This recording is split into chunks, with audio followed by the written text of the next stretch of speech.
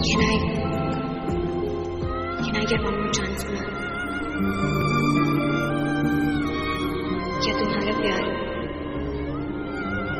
मेरे लिए फिर से ज़िंदा हो सकता है।